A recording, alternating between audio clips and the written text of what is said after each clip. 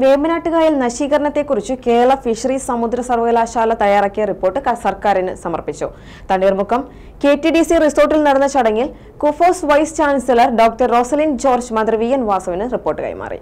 സർക്കാർ നിർദ്ദേശപ്രകാരം കുഫോസിസിലെ centre for excellence in aquatic resources management and കൺസർവേഷനാണ് അഞ്ചു വർഷം നീണ്ട പഠനം നടത്തിയത്. പഠന റിപ്പോർട്ടിൽ കായലിന്റെ ജൈവപരമായ ഉൽപാദനക്ഷമത വീണ്ടെടുക്കാൻ സ്വീകരിക്കേണ്ട നടപടികളെക്കുറിച്ചും വിശദമായി പ്രതിപാദിച്ചിട്ടുണ്ട്.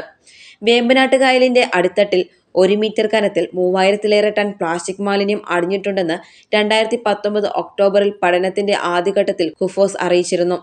ഓരോ ചതുരശ്ര കിലോമീറ്ററിലും അൻപത്തിയഞ്ച് ദശാംശം ഒൻപത് ടൺ പ്ലാസ്റ്റിക് മാലിന്യം കായലിന്റെ അടിത്തട്ടിലുണ്ടെന്നാണ് കണ്ടെത്തൽ. ഇതുൾപ്പെടെ കായൽ നശീകരണത്തിന്റെയും കയ്യേറ്റത്തിന്റെയും വിശദമായ വിവരം റിപ്പോർട്ടിലുണ്ട്. വേമ്പനാട്ട് കായലിൽ വന്നു ചേരുന്ന മീനച്ചിൽ പമ്പ അച്ചൻകോവിൽ നദീതടങ്ങളിലെയും കായലിന്റെ ഭാഗമായ കുട്ടനാട്ടിലെയും പ്രളയ സാധ്യതകളും അത് തടയാൻ സ്വീകരിക്കേണ്ട മാർഗങ്ങളും റിപ്പോർട്ട് പ്രതിപാദിക്കുന്നുണ്ട്.